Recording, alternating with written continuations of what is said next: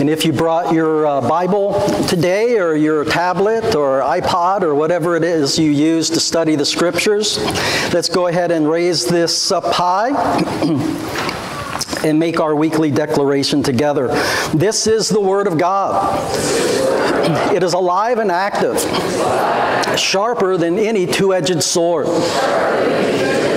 The grass withers, the flower fades, but the Word of God abides forever.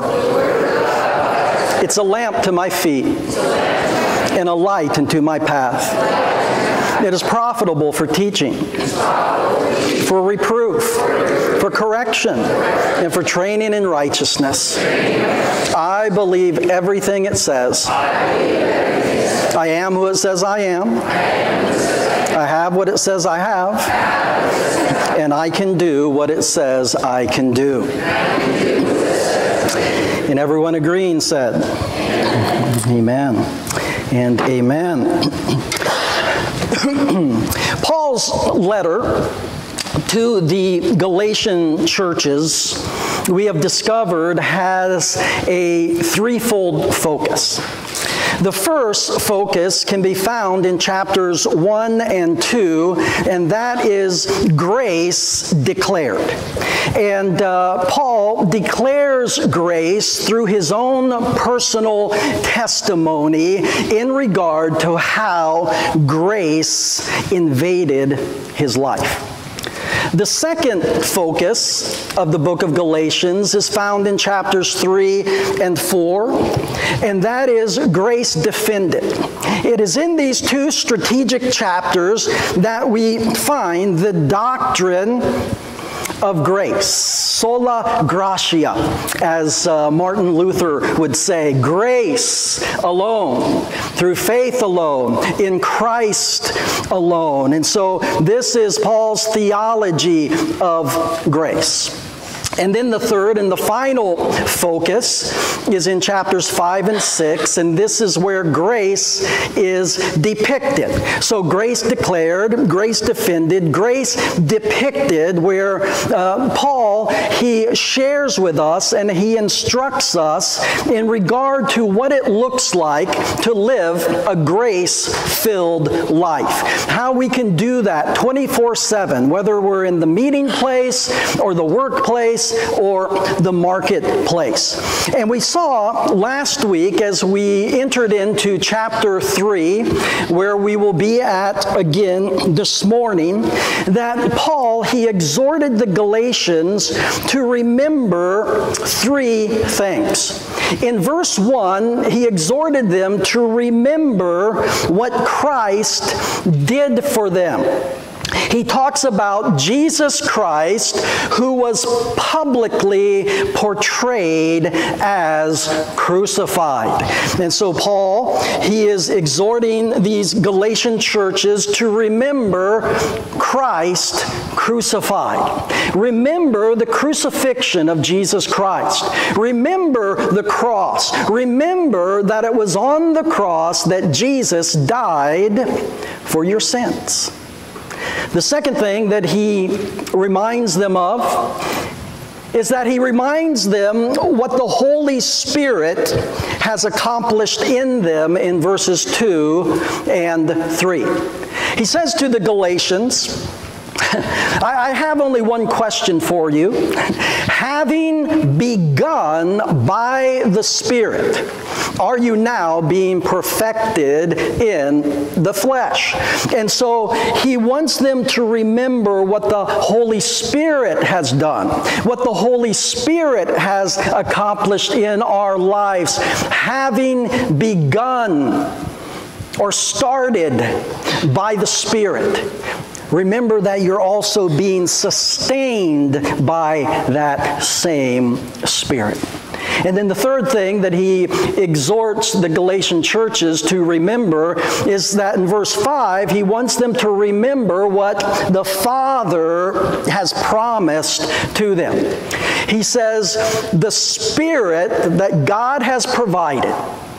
And he then goes on and mentions the God who works miracles amongst you.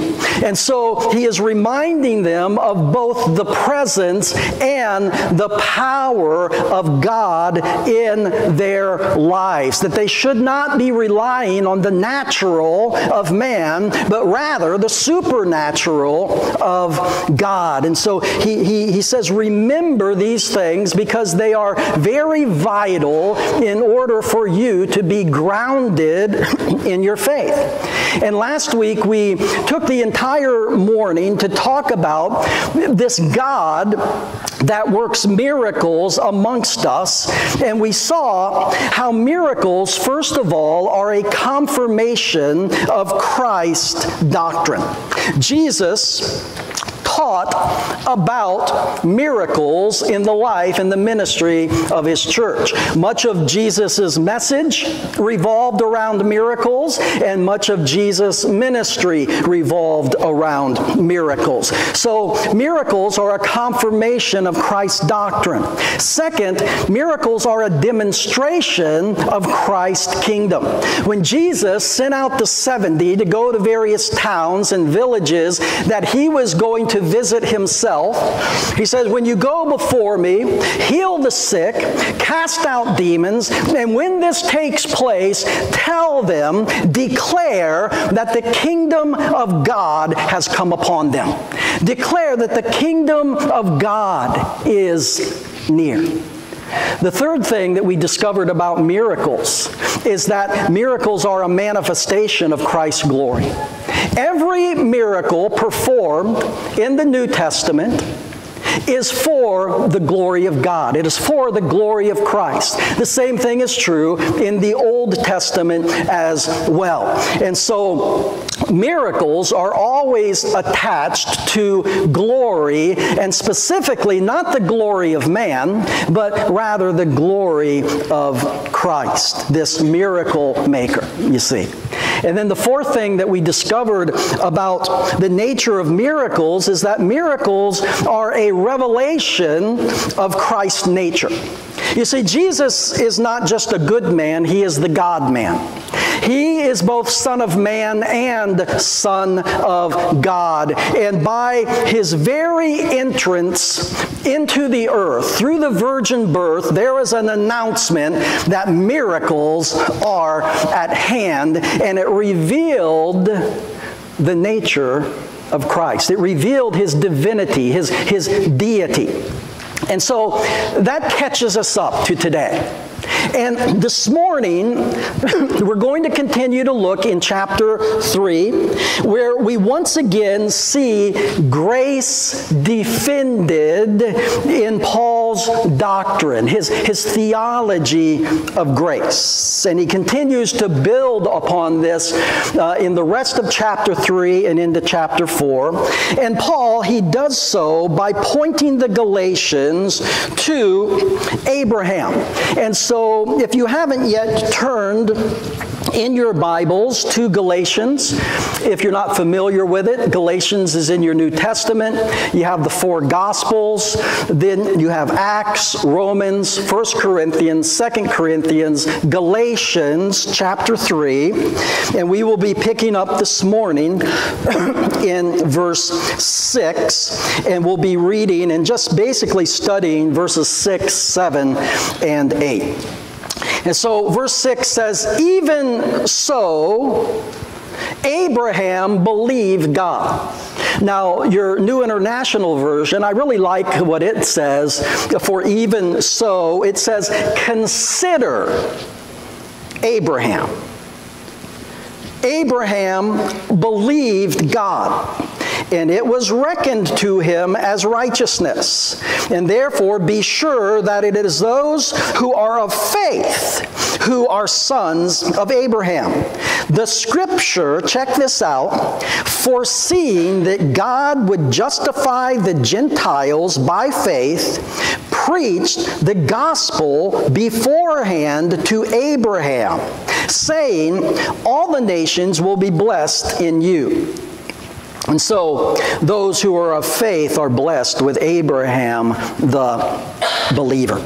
And so Again, as the New International Version uh, says and, and, and challenges us, consider Abraham. You know, some of our best times are spent considering the things of God and reflecting upon the various men and women of God in the scriptures. And Abraham would certainly fall into that category. We should be well acquainted as Christians with Abraham and his life and his calling. And so we, we need to be people who consider who reflect upon the things of God and upon the people of God. And so, why this is important specifically to the Galatians is that Abraham was a big deal with the Jewish people. He was a big deal with these Judaizers who were basically, as we've seen, a Christian cult that was negatively influencing the Galatian churches. They had snuck in, they, they had seduced them into believing a different gospel, which was a false gospel. And so, uh, Paul, he's drawing from the life of Abraham because Abraham was a big deal with the Jewish people. And he does the same thing with Moses. Moses is also a big deal amongst the Jewish people. And so, this is what I want you to understand as we study throughout uh, chapter 3 specifically is that when Paul speaks of the law, he is referencing Moses, the lawgiver. And when he speaks of faith, he is referencing Abraham, the man of faith who came before Moses. And so Paul, he uses two very strategic key figures in the Old Testament that, listen, would have the highest and the greatest authority amongst the Jews and amongst these Judaizers. And the ultimate thing that Paul is trying to communicate is this. He, he's trying to communicate that both Moses and Abraham point us to Jesus. Now, you're in Galatians 3. Let's look again at verse 8. he says, The scripture, foreseeing that God would justify the Gentiles by faith, preached the gospel beforehand to Abraham, saying, All the nations will be blessed in you. Look in Galatians chapter 3, verse 24. He goes on and he says, Therefore, the law, remember Moses is the lawgiver, therefore the law has become our tutor to lead us to Christ.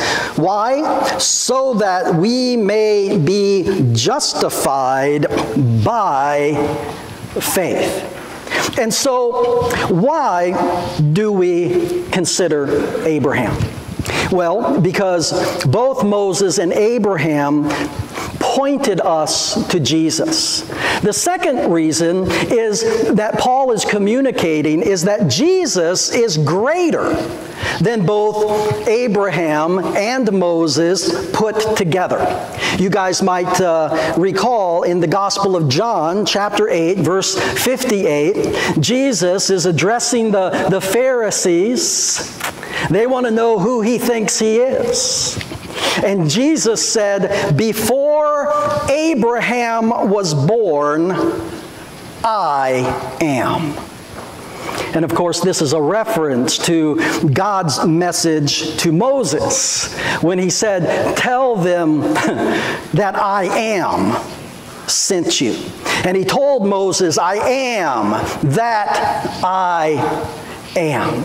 Jesus, my friends, is the great I am. And what Paul is communicating here is that Jesus proceeds, or excuse me, precedes and supersedes both Abraham and Moses because before they even existed, Jesus said, I am. He preceded them, He supersedes them. And so, again, why are we commanded to consider this man, Abraham? Well, because Abraham was the father of our faith. Now, some of you uh, who grew up in church, I, I, didn't have that privilege, but some of you who grew up the church and you went to vacation Bible school or you went to youth camp, you probably learned a song called Father Abraham. You guys remember that? Okay, we're going to do that right now. No. All the college students are saying, yes. All our guests are saying, no. we will spare us all. But remember the song, Father Abraham, it is built on a spiritual truth. And so we consider Abraham, listen, because his life models what our lives should look like. You see, Abraham is a prophetic picture of the gospel message, and we see here how God actually showed or announced to Abraham Abraham the gospel when Abraham was alive. And so you see, Abraham fully understood the gospel message, and for both his and our benefit, he modeled a life of faith. And guys, one of the things that we discover as we study Scripture is how God is attracted to faith. Let me say that again. God is attracted to faith. You see, faith, whether it be in a person's life or in the life of a church, is very, very attractive to God. You see, where faith is, God is. And so faith, it, it not only appeals to God, it also attracts God. Faith is what gets God's attention. Now, some people in this life, especially in Hollywood, they, they, they long for a facelift. But you see, the church should long for a faith lift because our faith is sagging when God wants it to be surging. and so there's three very, very vital, important truths that in verses 6, 7, and 8 that Paul wants us to know when it comes to the topic of faith. And these are very important things that we must know, that we must be grounded in as sons and daughters of God. And so the very first thing that Paul wants us to understand in regard to the importance of faith is that the importance of faith is that of hearing with faith.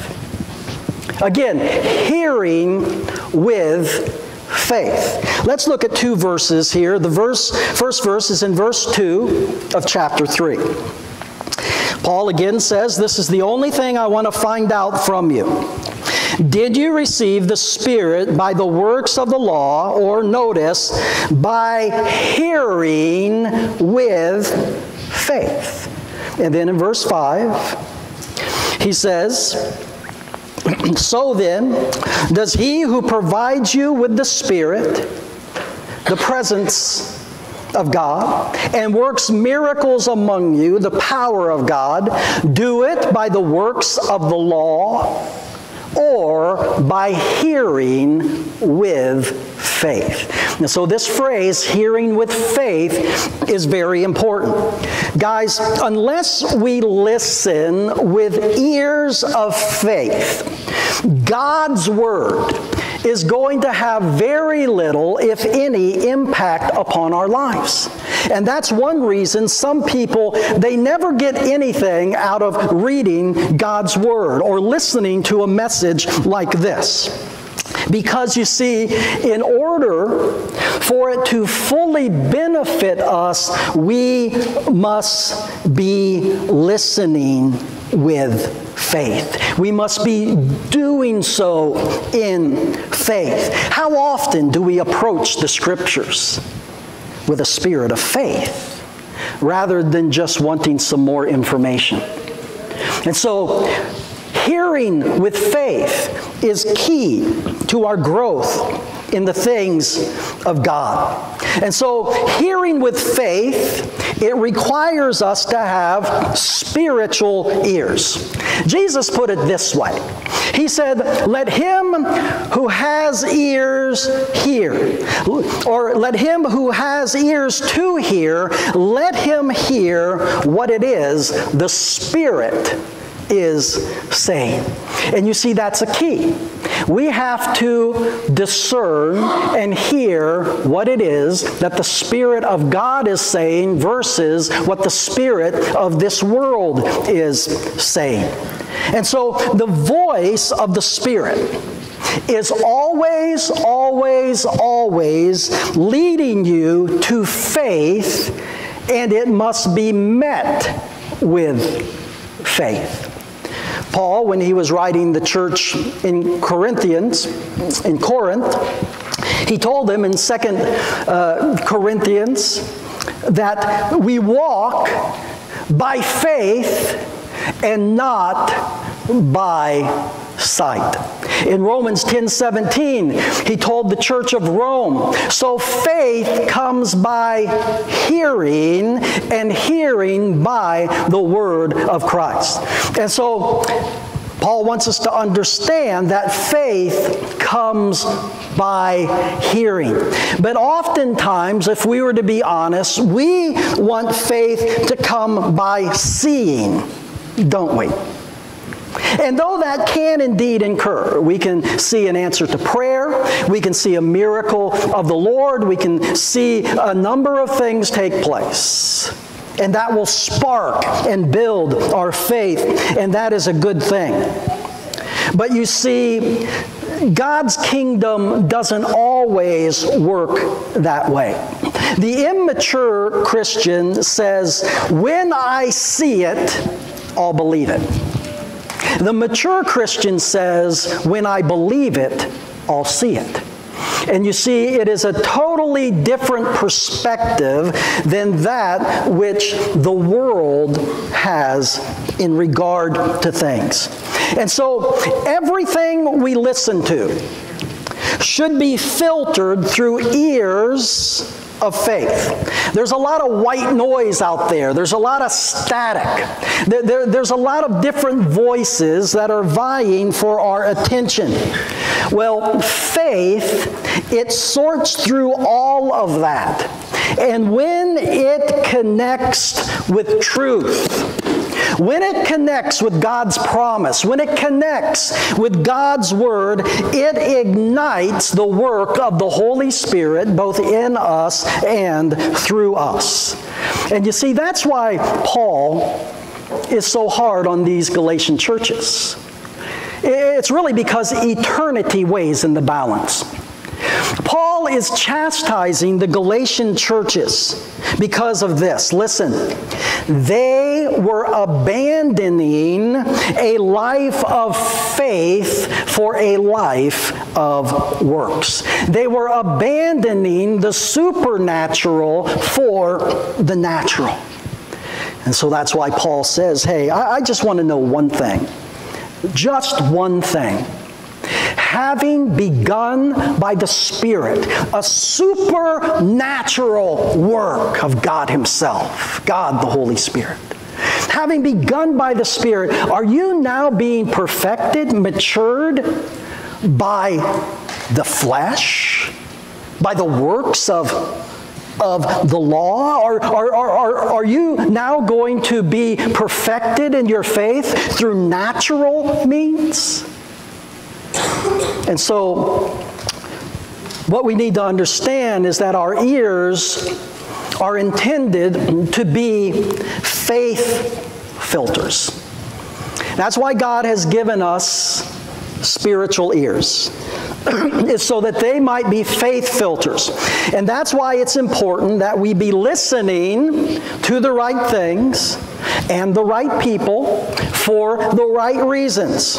And so when someone or something tries to enter our thoughts or tries to enter our minds and it is not of faith, what our response should be, what we should say is sorry, that is not allowed here. This is a faith only zone. And oh, how God's people would do so much better if they lived in a faith only zone. Or, sorry, you are speaking a foreign language. There's only one language spoken here, and that is the language of faith. And yet, how often do we speak the language of, of fear or, or the natural or the what if and the if onlys in life?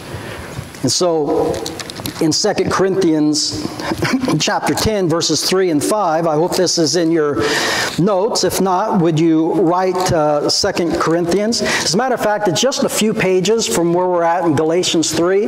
Just turn left and you'll get real uh, quick to 2 Corinthians chapter 10, verses 3 and 5, and let's look at this together.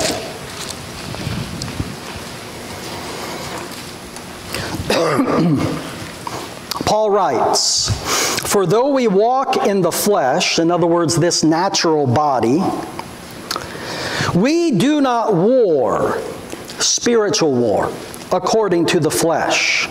For the weapons, the spiritual weapons of our war- warfare, are not of the flesh or the natural, but divinely powerful for the destruction of fortresses.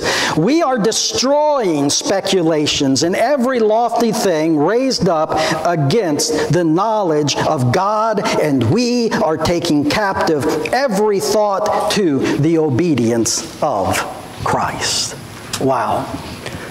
Such powerful, powerful words. You know, Paul, he felt so strongly about a life of faith that he actually said this Whatever is not of faith is sin. Now, marinate on that for a while. Think about that. Whatever is not of faith is sin. Now, why does he say this? Well, because the way of the kingdom is lived out through the highway of faith. If we get off of that road, we will find ourselves trapped in quicksand or running off a cliff or driving into a pit. And you see, that is exactly what was happening to the Galatian believers, the Galatian churches. They were quickly becoming shipwrecked and desperately needed to be rescued, and that is why Paul wrote his letter to the Galatian churches, is because they were headed in a wrong direction.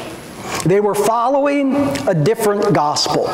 And therefore, eternity weighed in the balance, and he realized that they needed to be rescued from the direction that they were headed in. And so, when it comes to this hearing with faith, we need to understand some things. First, what we need to do is we need to ground our ears to the voice of the Spirit. We need to ground our ears to the voice of the Spirit. To Him who has ears, let him hear what, let's say it out loud, the Spirit is saying. So ground your ears to the voice of the Spirit. Second, we need to guard our ears with the voice of faith. Remember, our ears are a filter. And so we must guard what is coming in through ears of faith. And we must make sure that faith, listen, faith is always standing guard over our ears and what it is that we're hearing and what it is that we're listening to. And then we need to govern our ears with the voice of faith. You see, the voice of faith is what we listen to. The voice of faith leads and guides and directs our life. We walk by faith, not by sight. But oh, how often we do just the opposite. We trust in the natural. We walk by what we see in our natural, fleshly station versus the spiritual position and posture that God wants us to live in and walk in and minister in. And so the first order of importance is, is hearing with faith. The second thing that Paul wants these Galatian churches to know and have their lives founded upon is the importance of our identity through faith. You see, our identity in Christ is only through faith. Remember, grace alone, through faith alone, in Christ alone. That is our identity, and we read about this in verse 7. it says this Therefore, be sure that it is those who are of faith who are sons of Abraham. And so, Paul, he is telling us here that faith is what identifies us as sons and daughters of Abraham, and as a result, we are also sons and daughters of God. You see, it's not church membership. It's not having your name on a roll. It's not going to church. It's not singing in the choir. It's not, uh, you know, being part of a home group. Now, all those things are, are, are great, except for maybe one. But membership. But we need to understand that none of those things save us. None of those things justify us. And that is what Paul is trying to get across. Where do you find your identity? And so, what we need to understand is that faith is a gate which grants us entrance into the kingdom of God and that which our identity is found. And so abandon faith and you abandon your identity. And so the, the Christian church is a part of Abraham's heritage. We are sons and daughters of Abraham, and this is strategic because, again, remember, Paul is using Abraham, who is a hero to the Jewish nation, to say if you want to identify with Abraham, your hero, you are going to have to have a faith based relationship with God, not a works based relationship with God. And we discover something about Abraham and his, his life. And it's in Hebrews chapter 11, verse 8. Let's read this out loud together, shall we? Let's begin.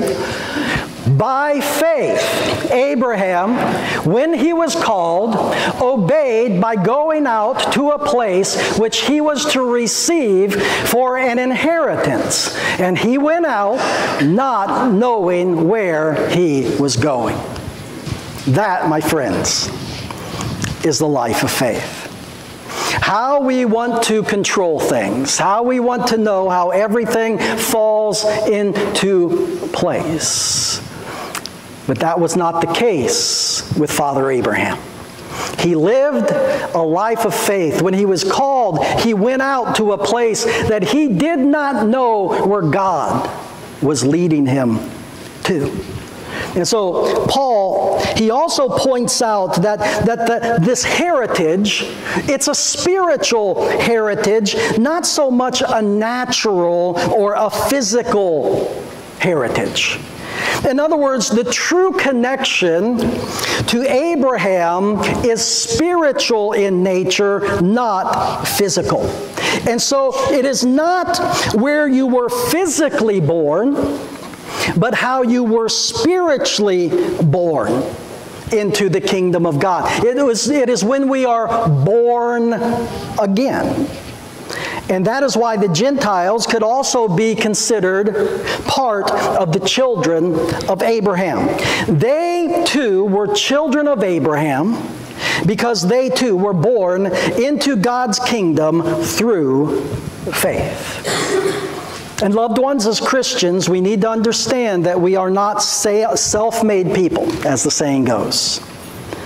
We don't do it our way, as the song goes. We are a faith made people. It is faith which must shape and form our lives. Because as Paul states back in verse 3, to abandon faith is the act of a fool. Oh, you foolish Galatians. It is a foolish decision that would result in a foolish life and a foolish faith, and the result will be the fate of a fool. Trusting in ourselves and our own goodness rather than trusting in God and His goodness. Now, it was early this month that I had the privilege to share uh, at Solid Rock, our college and career ministry, and I was asked to teach on our identity in Christ. And so, as I opened up uh, my message to the Solid uh, Rock group, I, I shared with them how there is a great crisis that is in the world today. And it is really affecting people worldwide, and it is what is called identity theft identity theft. And you know, Jesus said this. He said, The enemy is only out to steal, to kill, and destroy. You see, identity theft is nothing new in the kingdom of God. Because from its very inception, Satan has been trying to rob us of our identity in Christ, to steal our identity in Christ. You see, Satan wants us to take on a false identity, and that is exactly what is happening to the Galatian churches. They rejected their true identity in Christ, which is found by grace alone, through faith alone, in Christ alone, and they were depending upon themselves and the works of the law. And you know, I, I, I, find it interesting that one of the questions that Jesus asked before his crucifixion and his resurrection was this When the Son of Man returns, will he find faith on the earth? An interesting question indeed. Perhaps this is why Timothy wrote, In the last days, many will fall away from the faith. And so, whether it is a faith that saves us or the faith that sustains us, they're both the same thing, by the way. The very same faith that saves us is the very same faith that sustains us and sanctifies us and secures us in the things of God. When I return, is there going to be faith on the earth? And that's why Paul is talking about the importance of hearing with faith, the importance of finding our identity in Christ through faith. And then the third, and really the most important thing, is found in verse 8, and that is the importance of knowing that we are justified, we are made right with God by faith. Notice verse 8. The scripture, foreseeing that God would justify the Gentiles by faith, preached the gospel beforehand to Abraham. Wouldn't you have loved to have been there? Saying, All the nations will be blessed in you. And then verse 9, so then those who are of faith are blessed with Abraham the believer. We are justified by faith. What powerful words. The just shall live by faith. And you know, it was this verse, the just shall live by faith, it's this truth that literally revolutionized and transformed Martin Luther's life and ministry. As he was reading through the book of Galatians, there was a paradigm shift. There was a revelation from heaven that came to him.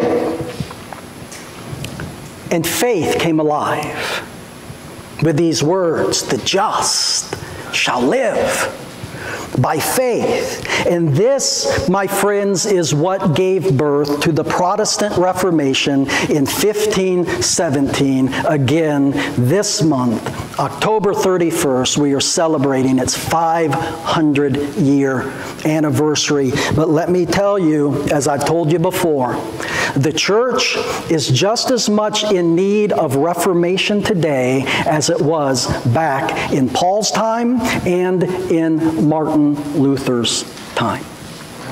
Oh, how the church needs to be reformed.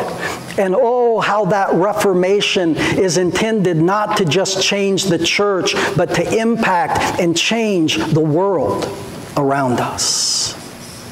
Now, Paul, when he talks about being justified by faith, he's drawing from an Old Testament passage out of Habakkuk chapter 2, verse 4. And Habakkuk was written around 605 BC. This passage, this verse in Habakkuk, it was a prophetic promise that was setting the stage of what would be the norm amongst God's people, and that is a life of faith. And we see in, the, in a few verses how this is being confirmed and affirmed. Let's read these three verses out loud together, shall we? Habakkuk 2, verse 4. Let's begin. Behold, as for the proud one, his soul is not right within him, but the righteous will live by his faith. Now, what proud one is he referring to? Self righteous pride. The self righteous, prideful people, that they are, see themselves as good enough and therefore they don't need the goodness of God. Hebrews 10 38. Let's begin. But my righteous one shall live by faith, and if he shrinks back, my soul has no pleasure in him. And then Romans 1:17. Let's begin. But in it, the righteousness of God is revealed from faith to faith. As it is written, but the righteous man shall live by faith. Paul in Romans 1:17, he is referring to Habakkuk chapter 2, verse 4. And so there's two key words in these verses that we have looked at this morning. And those two words are Abraham believed. Would you say those two words out loud with me? Abraham believed. It was Martin Luther who said the first duty of man is to believe in God and honor him with his faith. The first duty of man is to believe in God and to honor him with his faith. And so Paul is saying this to wrap things up. He's saying, okay, you guys honor Abraham, rightly so. You guys admire him, and rightly so. So, let's begin with Abraham, shall we? And let's learn how this man of faith, this friend of God, was justified before God. Let's see how he was made righteous in God's eyes. It's not because he left his country. It's not because he left his relatives. It's not because he left his father's house. It's not because he was circumcised. It's not because he even stood ready to sacrifice his own son Isaac, in whom the promise was given. As great as all those things were, Abraham was justified because he believed. Because he believed. And so Paul is appealing to the Galatians, he's exhorting them. And he's saying, don't complicate this. You're throwing in all types of stuff that is only complicating your relationship with God. It's confusing you in your relationship with God. It's not that these other things are bad, but there's only one thing that is necessary. Abraham believed. So simple, so sound, so secure, so satisfying. And guys, such is the same with us. Let's, let's stop complicating things. Let's start confusing, stop confusing things. Just like Abraham believed, so too we believe. That is our connection with Abraham. And it is a faith that is simple, sound, secure, and satisfying. And so we discover this morning a simple spiritual truth, a spiritual principle, and it's this. Just like faith honors God, God honors faith. Would you stand with me?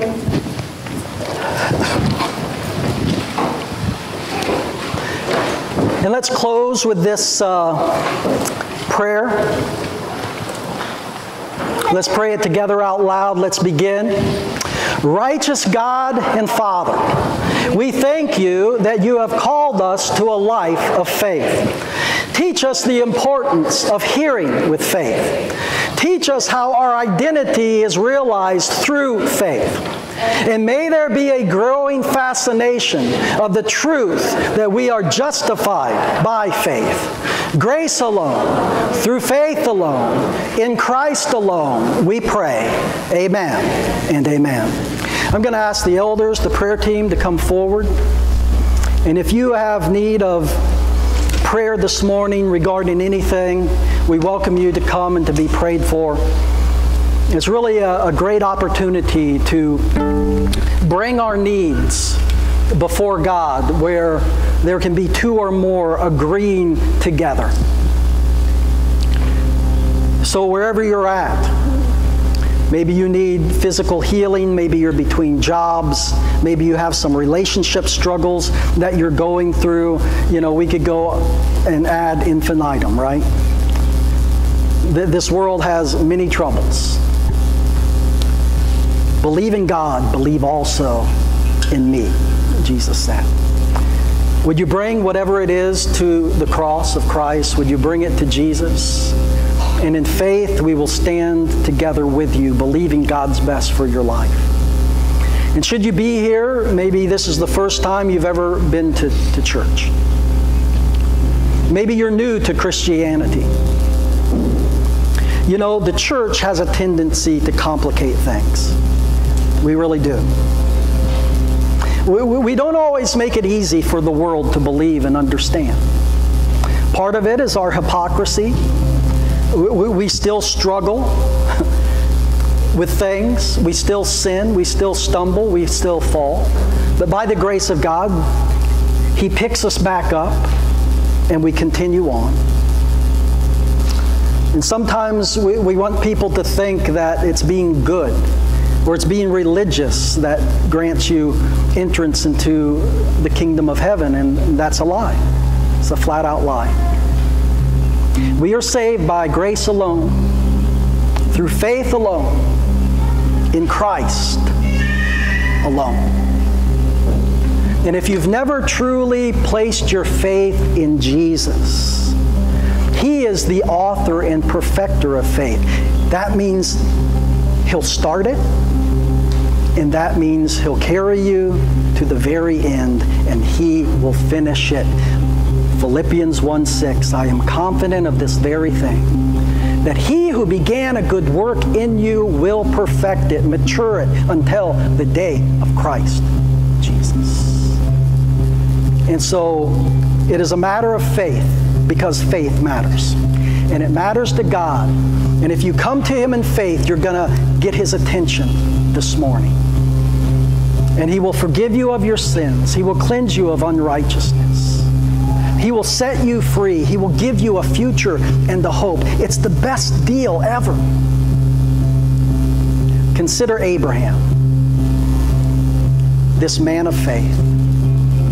And may that be where our identity is found as well. I would encourage you to come to this great and gracious God today. And you can do that by coming and sharing with somebody up here. I, I, want to be prayed for. I want to learn more. I want to give my life to Jesus through faith. Or maybe turn to the person next to you and say, hey, can you help me with this? Can you pray with me? God bless you guys. Grace alone, sola gratias. Faith alone, sola fide. In Christ alone, sola Christus. That is who we are. And that is what we declare week in and week out. God bless you guys.